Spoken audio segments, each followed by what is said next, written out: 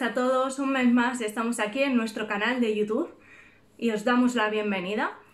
Hoy os vamos a hablar sobre todo de una cosa que nos trae mucho de cabeza los opositores, eh, así nos lo trasladáis los alumnos año tras año, y es la programación didáctica. Esa programación didáctica que está basada en la normativa, sobre todo en la convocatoria, y que sabemos que cada año puede cambiar si nos basamos en Castilla y León, de 2018 a la convocatoria de 2020, que será en 2021, ha cambiado algunas de, las características que nos, que nos piden. Asimismo, pasa en otras comunidades. Por tanto, sabemos que presenta un problema adaptarse a ello. Pero nosotros siempre os recomendamos, si tenéis la base basándonos en la última convocatoria o en este caso además ya nos podemos adelantar a la convocatoria siguiente porque ya la tenemos, em, va a ser mucho más fácil adaptarla. ¿De acuerdo? Que hacerla de nuevo.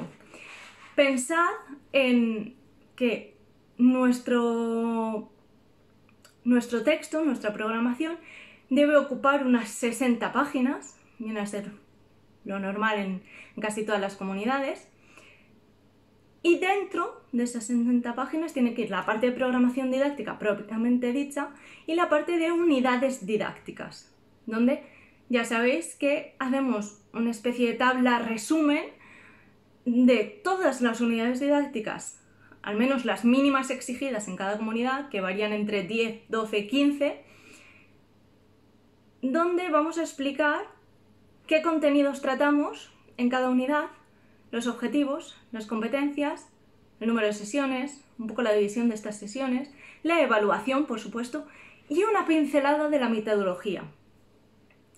Casi siempre lo que nos comentáis es la dificultad que tenéis en recordar para el momento de la presentación en la oposición, recordar cada una de las unidades cuál es su característica principal y cuáles son sus datos. Por eso, en nuestro curso, una de las cosas que os recomendamos es que las hagáis lo más similares posible. Es decir, que todas tengan una duración muy similar, o si hay alguna que tiene una duración o muy corta o muy larga, pero va a ser algo puntual, es muy fácil recordar qué unidad tiene esta característica distintiva. Lo mismo con los objetivos didácticos que os procuramos decir que hagáis unos objetivos propios de una duración, de, una longitud pequeña, que sean unos 15, 20, que luego desgranaréis en cada unidad didáctica y os va a ser mucho más fácil recordar 15, 20 objetivos propios que 70 objetivos propios. Si nos ponemos a decir cada uno en una unidad distintos y propios de cada unidad. Siempre sabemos que los objetivos pueden ser un poco más generales y después la manera de conseguirlos es lo que vamos a trabajar con actividades, con competencias y demás, que nos va a llevar a una profundización en cada unidad y una diferenciación en cada una de ellas. Pero sabemos que, bueno, antes de todo esto, lo primero que, la primera duda que surge es, bueno, y yo tengo claro en qué especialidad me voy a presentar, pero ¿Qué curso escojo? ¿Cómo escojo el curso en el que me voy a basar para la programación? Sabemos que la gran mayoría, aunque no es obligatorio, tenemos eh, tendencia a escoger un curso de estos de toda la ESO y bachillerato donde podemos dar nuestra materia. ¿Qué ocurre? Que tenemos prácticamente nuestra materia va a aparecer en todos los cursos.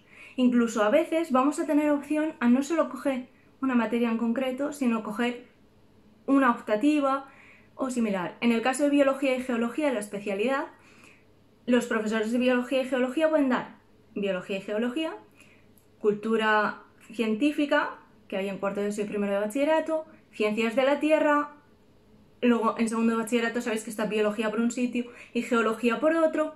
Entonces todo esto nos suele presentar muchas dudas. Pues bueno, no hay una técnica 100% válida porque cada persona debe elegir el curso según cómo se sienta de cómodo. Podemos pensar varias cosas que os voy a decir ahora mismo para que podáis tener en cuenta y valorar a la hora de elegir vuestro curso. Pero eso no quiere decir que un curso vaya a tener más puntuación por ser ese curso que otro. ¿De acuerdo? Que esto nos lo preguntan mucho. Bueno, ¿y en qué nos podemos fijar? Nos podemos fijar en la edad de los alumnos. Si pensamos en la edad de los alumnos, no es lo mismo tratar con, unos alumnos de primero de la ESO que con segundo de bachillerato. Sus características psicológicas son distintas.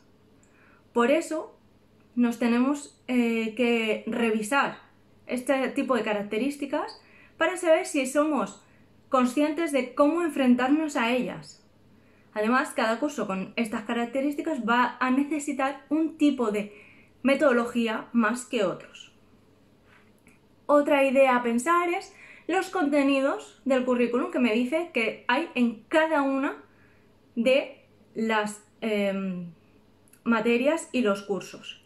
Por tanto, tengo que mirar esas, esos contenidos, con qué contenidos me siento yo más cómoda, con qué contenidos me veo más capaz de hacer actividades adaptadas a la metodología que me va a exigir ese curso. ¿Vale? Ya mezclamos las dos cosas. Como veis, esto todo muy relacionado y por eso no hay una ciencia exacta para determinar qué curso va a hacer cada persona, cuál va a ser mejor, cuál va a ser peor. El mejor es aquel con el que tú te sientas más capaz y más identificado para dar clases y que tu programación y tus unidades sean lo más realistas posibles. Por tanto, tenemos la edad de los alumnos, tenemos los contenidos y además también otra opción es basarnos en estas metodologías, como decía. ¿Qué metodologías voy a usar, me gustaría usar y con qué contenidos y edad lo relaciono más? Todas estas ideas nos van a dar una ligera idea de cómo enfrentar el curso y cómo, cómo enfrentar nuestra programación didáctica. Por supuesto, después tenemos que revisar todo y no solo centrarnos ahí. También tenemos que pensar en una cosa clave y es ¿en qué centro estoy? ¿Cómo es el centro en el que estoy? Hay centros que nos van a permitir hacer un tipo de metodologías un tipo de actividades y otros no nos lo van a permitir.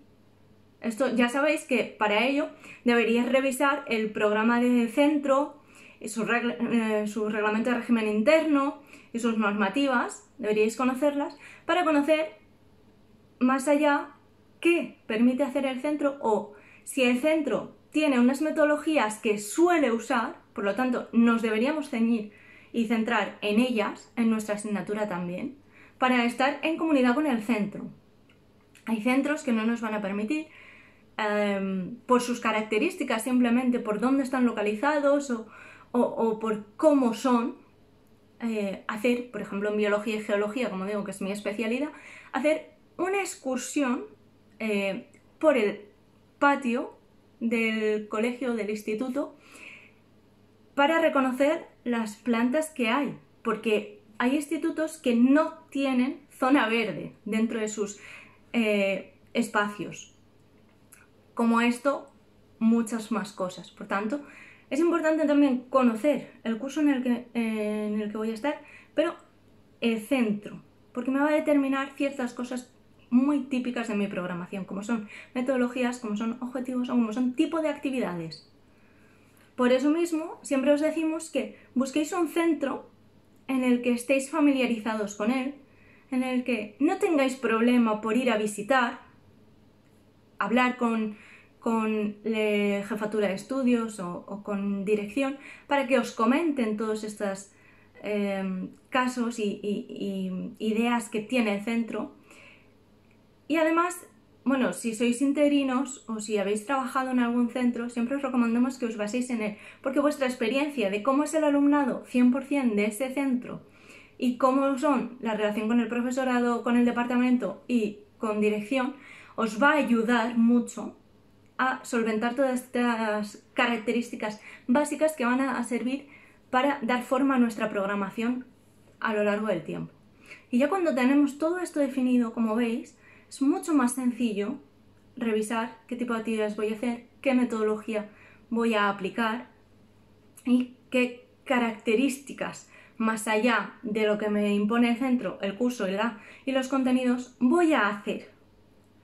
Además, eh, como consejo también, es que elijáis una, una actividad que para vosotros sea muy característica de vuestra forma de enseñar, esto es muy personal, y que pueda adaptarse a diversas unidades didácticas. ¿Por qué? Porque a la hora de presentar vuestra unidad didáctica, como decía, los nervios y tantos datos a memorizar, juegan malas pasadas. Como nosotros solo presentamos una tabla resumen de las unidades, podemos poner simplemente un día de actividades, un día de prácticas de laboratorio, un día de excursión y modificar una que ya tengamos pensada y poder meterla en cualquier unidad que presentemos. Por supuesto, si la tenéis clara 100% y si para cada unidad tenéis una, esto os va a ayudar a la hora de presentar no la unidad didáctica, sino la programación didáctica, porque en metodología vais a poder explicar brevemente algún ejemplo que siempre los ejemplos son muy ilustrativos a la hora de hacer una presentación oral de la programación didáctica. Así que, por nuestra parte, estos son nuestros consejos que queríamos darte hoy. Esperamos que te sirvan, que si has usado alguno de estos trucos u otros, nos los hagas llegar por comentarios o por cualquier modo. Y que ya sabes que a final de, de mes empezar un curso nuevo de programación didáctica. Vamos a hacer un reto gratuito por WhatsApp para que cualquier persona pueda acceder a él y tratemos consejos como estos que hemos dicho y otros más. Y nada más, nos vemos el próximo mes en este mismo canal. ¡Hasta luego!